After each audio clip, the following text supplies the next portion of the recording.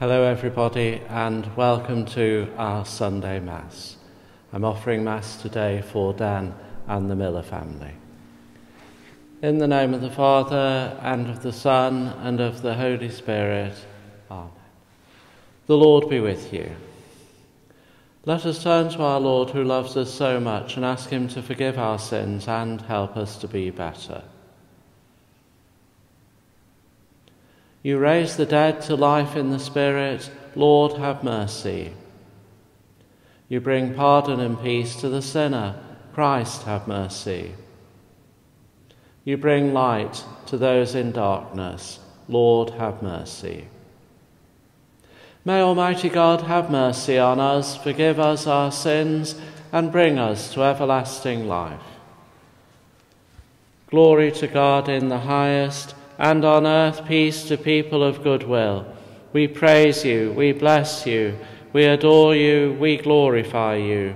We give you thanks for your great glory. Lord God, Heavenly King, O God, Almighty Father, Lord Jesus Christ, only begotten Son, Lord God, Lamb of God, Son of the Father, you take away the sins of the world, have mercy on us.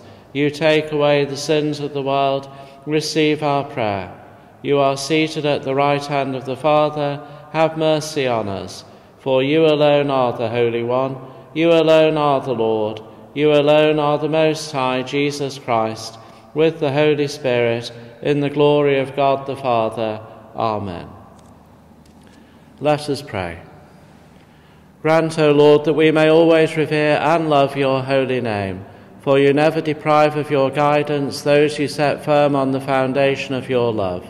Through our Lord Jesus Christ, your Son, who lives and reigns with you in the unity of the Holy Spirit, one God, for ever and ever. Amen.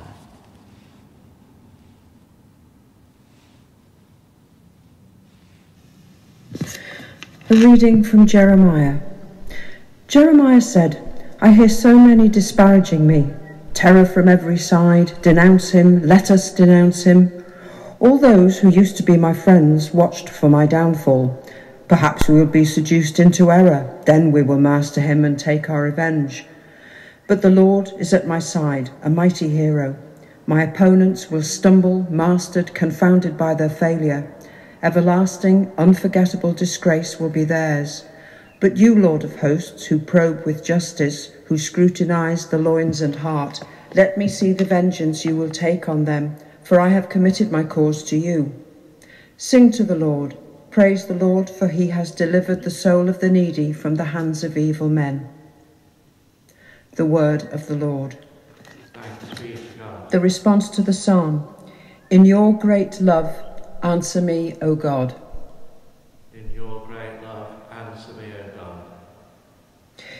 It is for you that I suffer taunts, that shame covers my face, that I have become a stranger to my brothers, an alien to my own mother's sons. I burn with zeal for your house, and taunts against you fall on me. In your great love, answer me, O God. This is my prayer to you, my prayer for your favour. In your great love, answer me, O God, with your help that never fails. Lord, answer for your love is kind, in your compassion turn towards me. In your great love, answer me, O God. The poor, when they see it, will be glad, and God seeking hearts will revive. For the Lord listens to the needy, and does not spurn his servants in their chains. Let the heavens and the earth give him praise, the sea and all its living creatures. In your great love, answer me, O God. Second reading from the book of Romans. Sin entered the world through one man, and through sin, death, and thus death has spread through the whole human race because everyone has sinned. Sin existed in the world long before the law was given. There was no law, and so no one could be accused of the sin of law breaking, yet death reigned over all from Adam to Moses, even though their sin, unlike that of Adam, was not a matter of breaking a law. Adam prefigured the one to come, but the gift itself considerably outweighed the fall.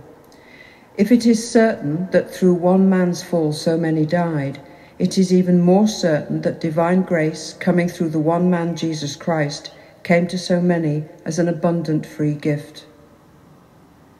The word of the Lord. Thanks be to God. The Gospel Acclamation. Alleluia, Alleluia.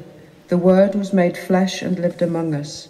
To all who did accept him, he gave power to become children of God. Alleluia. The Lord be with you.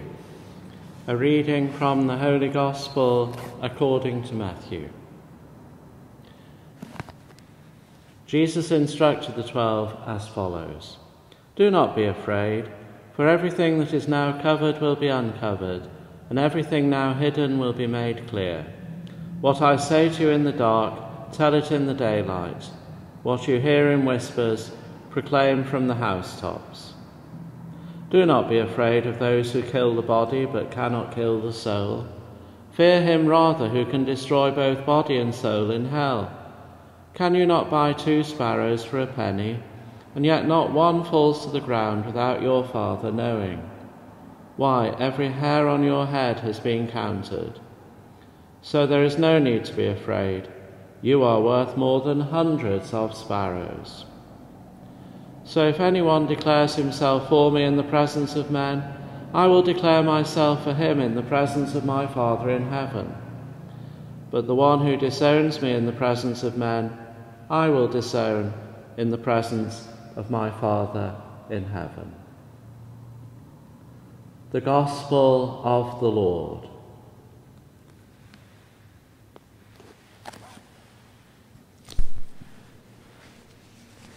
Let us now profess our faith in the words of the Apostles' Creed. I believe in God, the Father Almighty, creator of heaven and earth, and in Jesus Christ, his only Son, our Lord, who was conceived by the Holy Spirit, born of the Virgin Mary, suffered under Pontius Pilate, was crucified, died, and was buried. He descended into hell. On the third day he rose again from the dead. He ascended into heaven and is seated at the right hand of God the Father Almighty. From there he will come to judge the living and the dead. I believe in the Holy Spirit, the Holy Catholic Church, the communion of saints, the forgiveness of sins, the resurrection of the body, and life everlasting. Amen.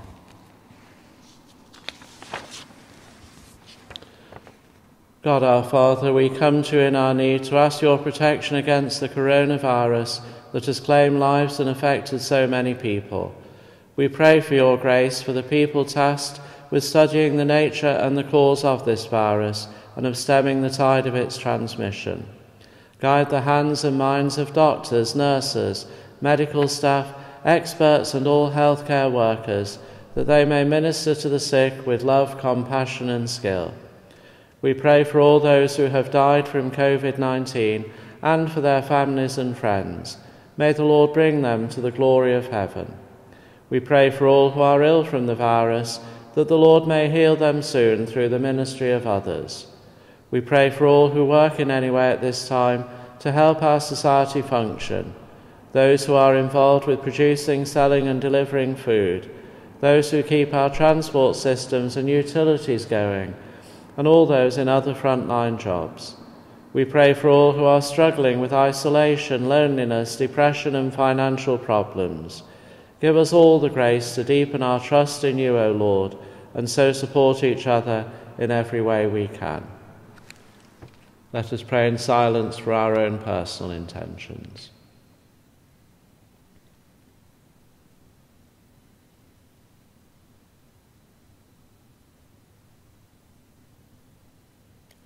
And now let us ask for the prayers of Our Lady. Hail Mary, full of grace, the Lord is with thee. Blessed art thou among women, and blessed is the fruit of thy womb, Jesus. Holy Mary, Mother of God, pray for us sinners, now and at the hour of our death. Amen. All holy men and women, pray for us.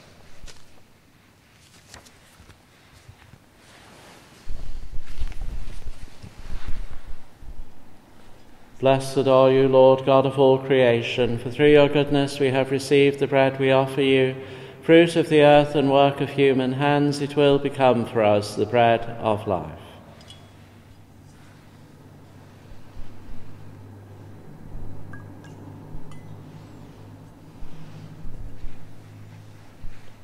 Blessed are you, Lord God of all creation, for through your goodness we have received the wine we offer you. Fruit of the vine and work of human hands, it will become our spiritual drink.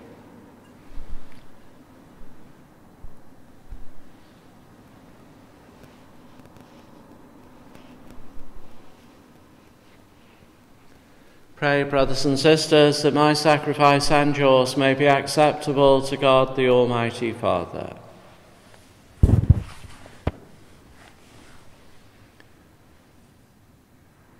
Receive, O Lord, the sacrifice of conciliation and praise, and grant that, cleansed by its action, we may make offering of a heart pleasing to you through Christ our Lord.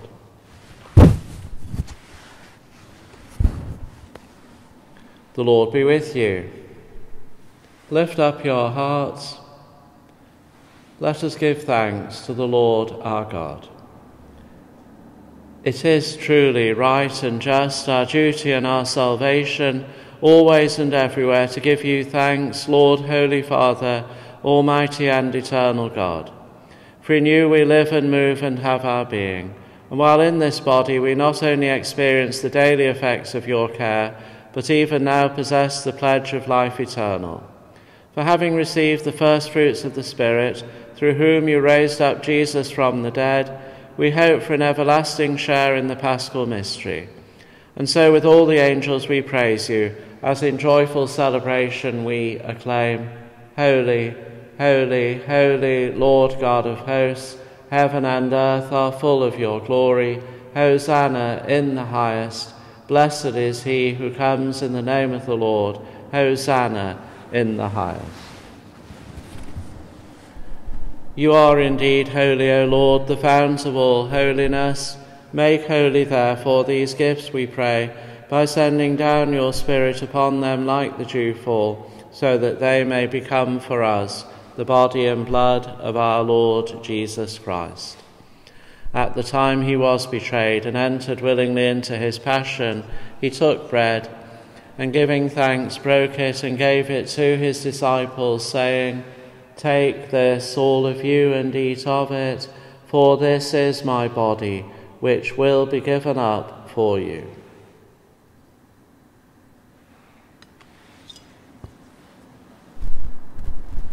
In a similar way, when supper was ended, he took the chalice, and once more giving thanks, he gave it to his disciples, saying, Take this, all of you, and drink from it, for this is the chalice of my blood, the blood of the new and eternal covenant, which will be poured out for you and for many for the forgiveness of sins. Do this in memory of me.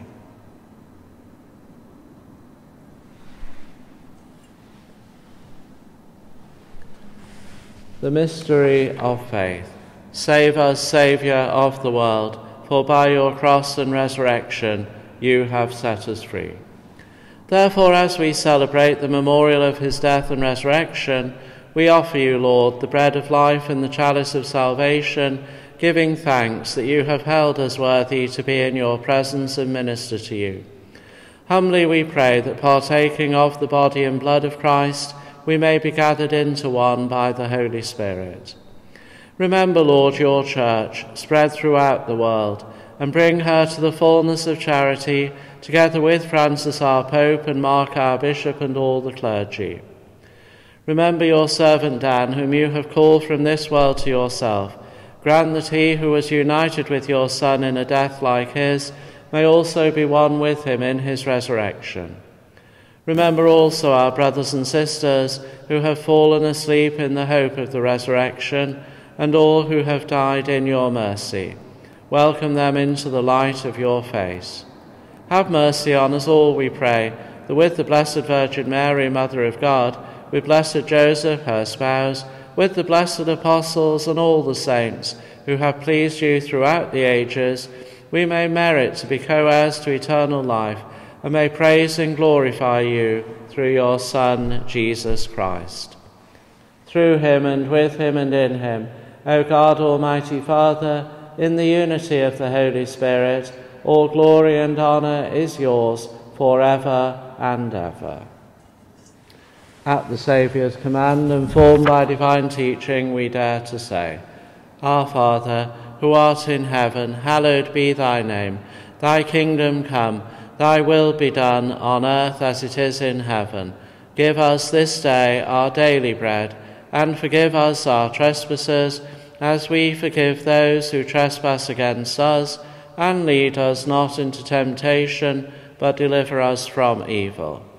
Deliver us, Lord, we pray, from every evil. Graciously grant peace in our days, that by the help of your mercy we may be always free from sin, and safe from all distress, as we await the blessed hope and the coming of our Saviour, Jesus Christ. For the kingdom, the power, and the glory are yours now and forever. Lord Jesus Christ, who said to your apostles, Peace I leave you, my peace I give you, look not on our sins, but on the faith of your church, and graciously grant her peace and unity in accordance with your will, who live and reign for ever and ever. The peace of the Lord be with you always. Let us offer each other the sign of peace.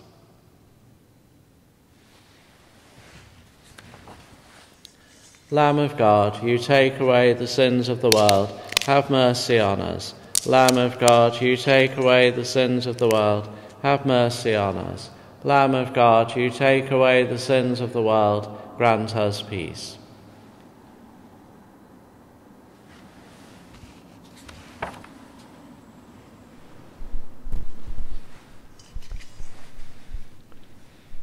Behold the Lamb of God, behold him who takes away the sins of the world. Blessed are those called to the supper of the Lamb. Lord, I am not worthy that you should enter under my roof, but only say the word, and my soul shall be healed.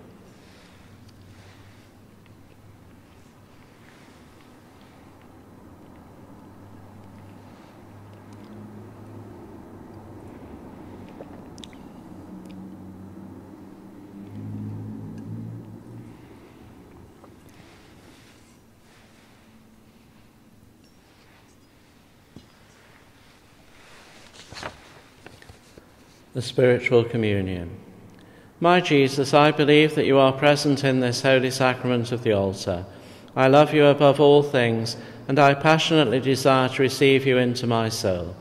Since I cannot now receive you sacramentally, come spiritually into my soul, so that I may unite myself wholly to you now and forever.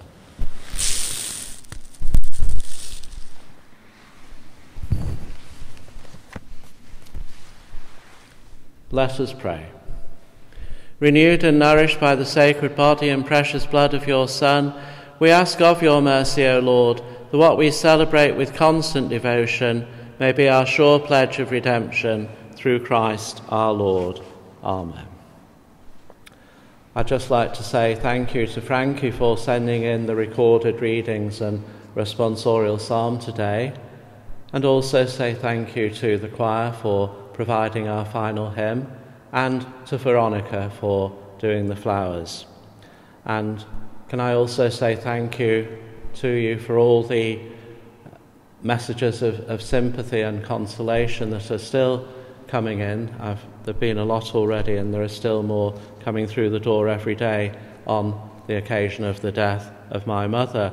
And just to say that her funeral uh, will be taking place, it's a graveside service tomorrow at midday at Highfield Cemetery in Stockport, and her body will be laid to rest with her parents and uh, older sister who are in the grave there. And I'd be very grateful if you could just remember her, Teresa, and the family in your prayers, particularly tomorrow on the day of her funeral. And we look forward to the day when she can have a memorial mass, as indeed all those people who've died during the pandemic and the restrictions that it's brought to us all. I hope you all have a very good Sunday And now let us ask for God's blessing for the week ahead. The Lord be with you. May Almighty God bless you, the Father, and the Son, and the Holy Spirit. Go and announce the gospel of the Lord. Thanks be to God.